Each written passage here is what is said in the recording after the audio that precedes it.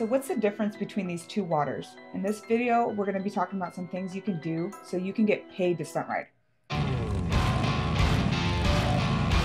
All right, so over the past 10 years of my stunt riding career, I never knew any of this stuff.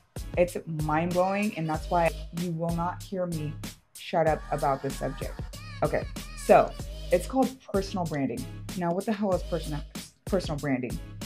So you see these two waters? What exactly is the difference between these two waters? Okay, we got what? Uh, great value water and essential overachieving H2O. Cool. Same contents. Okay, there's the same stuff inside of it. So why do people pay more for the essential overacting H2O over the great value water when the contents are exactly the same? That's what we're going to be talking about when it comes to setting yourself up, creating a personal brand around yourself as a as a stunt rider. So I want you to think of personal branding as basically your digital reputation, okay? So your digital reputation would be how do people look at you? How do they feel when they see you online? Um, are you presented as professional? Or are you presented as like a hooligan? Are you presented as um, someone that just does this for fun? There's so many different ways that a lot of us represent ourselves as stunt riders online. Okay, so let's put this aside real quick. So I want to take a look at someone that I've personally grown with as a stunt rider. So this rider is Smash Stunts. She has grown her following to a massive audience.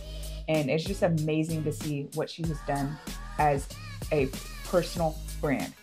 Okay, so I want you to look at her Instagram. Go look on her Instagram and I want you to look at her post. All her posts are very consistent. You know exactly what you're looking at when you go to her page. When you go to her Instagram, you see all stunt riding things. You don't see pictures of her dog, you don't see pictures of her boyfriend, you don't see pictures of what she's eating that day.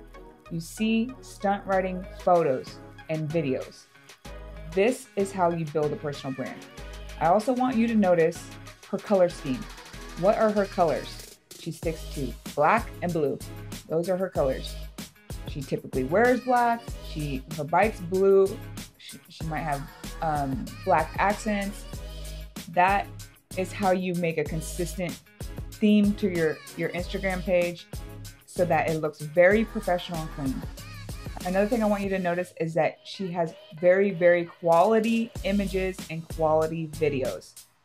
This is super important you might just throw something up thinking I just need footage to post today or this is all I got. But this is important to building a consistent personal brand. Okay. Think back to the waters. Okay. Are you great value water or are you essential? Or are you essential overacting H2 overachieving H2O? I don't even know what this is. Okay. Hey, what's up, guys? I hope you're enjoying the episode. Real quick plug I want to invite you guys to our online wheelie coaching course. This is exclusively made for Harley riders. We created a three stage progression method that is guaranteed to teach you how to wheelie. This is for day one learning riders. It's broken down from day one all the way to balance point. With this course, you get our exclusive members only Get Vertical app that makes it easier to access while you're at the lot practicing. You also get to join our Facebook community where we have a group experts in there all ready to help and other Harley stunt riders learning from each other. You'll also get invited with online group coaching with Bruce and I, where you can ask us direct questions about your progress and any struggles you're having. You can sign up at getverticalcoaching.com. Link will be in the description. Anyways, back to the show. But you can only get paid if you build a personal brand. I want to bring up my next um, example and that's CJ Barham. So let's take a look at his Instagram. I just want you guys to look through his page. What quality images and videos does he have? Is it great value? Or is it essential overachieving H2O? What personal brand is he building for himself? Okay. What colors is a theme throughout his Instagram page? Go back to the water example. I bet I could bet you if we went to this water's um, website, their colors would be black, white, and red. how do you feel when you go to his page? Um, I feel a sense of like badassery, feel some a sense of uh, excitement, power, um, influence, rock star lifestyle.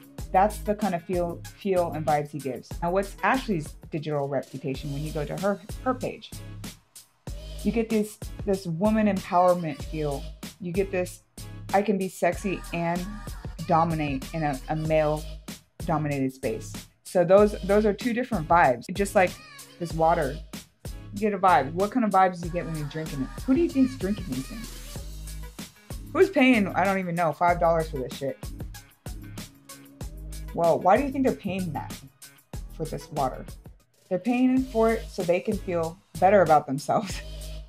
it's a feel, it's a vibe, right? So that's the difference between the the personal branding and how you feel when you go to these people's um, different stunt riders' Instagrams. Okay, so some common things that and mistakes that people do. Okay, so they mix their personal Instagram with their riding stunt riding Instagram.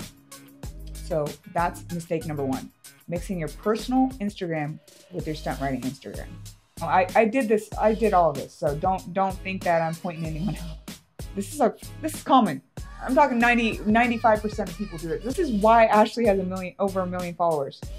She knows what she's doing. She's laser focused, okay? And so is CJ. He's on his way.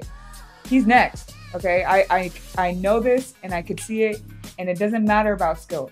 It's all about what you're doing on social media and your social media presence and your personal branding, okay? This page should be laser focused on your stunt riding personal brand. Okay. So the next common mistake is consistency. There's no possible way you're going to build a following without being consistent. If you're not showing up every single day, but minimum two to three times a week, your following is not going to grow. Sponsorships are going to see you as um, not reliable and they want you to show up every single day for them. Third common mistake is not posting quality images. And that's kind of self explanatory. So, what I think you guys can do today to start building this personal brand, it doesn't matter your skills. You need to start today because it t- it's a long game. Like, you need to start today so that you can get practice at this and you can build your following and your audience and they know what to expect. Because what if this guy, this water, changed their logo tomorrow? How are you going to know? How is uh, I'm their number one fan, and now I, I something changes, it throws me off, and I don't want to buy from them, them anymore. So you, you need to keep a consistent um, theme to to your personal brand or your reputation. Um, so the first thing I, I will say is pick up yourself an iPhone Pro. Upgrade your damn phone. This is a huge game changer because you always have your phone in your pocket. Um, it's easy for other people to use. Um, this is high quality 4K uh, footage. Uh, my suggestion is setting your your camera to cinematic and doing zooming in 3x. Okay, this is the sickest quality for stunt riding, just straight out of your phone. Okay, so cinematic 3x. That'll zoom in and it just looks like like fire quality. Okay, the next suggestion that I would make is to make a deal with someone that you ride with to film each other. Just be like, hey man, like we we got to do this thing. I'm willing to trade. If you are willing to trade, I'll film you. You film me. This is a long game, and we got to start thinking about the future. And if we want to get paid to do this and do this more, then we have to film. That is the reality of it. Don't let people hate on you for it. There's a lot of shade that goes on the lot if you're filming too much. But those are the riders that are not getting paid for it. Okay? So, just a recap be consistent, post as much and as often as possible. High quality images and videos. Don't post pictures of your dog. This is a, not a personal page. This is a professional stunt riding Instagram or YouTube page. Okay? This is how you will grow your following and your audience and ultimately lead you to paid sponsorship deals. Do you understand what I'm saying?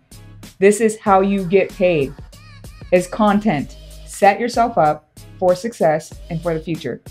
You will not regret it, and your following will grow very, very, very quickly. Okay? Hope these tips helped you out. Make sure you follow Get Vertical on Instagram and uh, YouTube. I'll see you guys in the next one. Peace.